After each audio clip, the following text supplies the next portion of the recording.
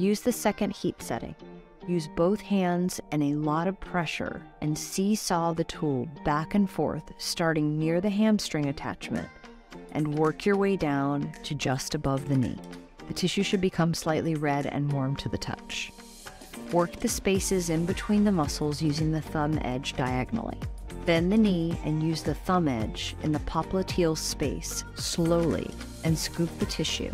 Add a little bit of extension to the leg to create a pin and stretch.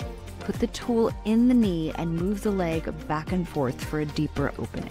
Go to the hamstring attachment and use the long edge and scoop the tissue away from the attachment.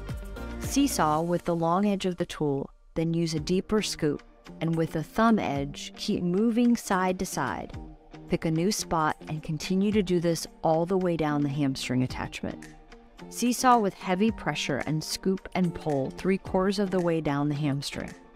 Scoop away, then bend the knee and place the thumb side into the medial attachment of the hamstring on the knee and tilt the blade towards you. Then push the hamstring and release the leg down. The blade and the leg move at the same time. Use long strokes and lots of pressure to smooth out the tissue. Start near the knee and move up the hamstring. The leg and blade are moving at the same time.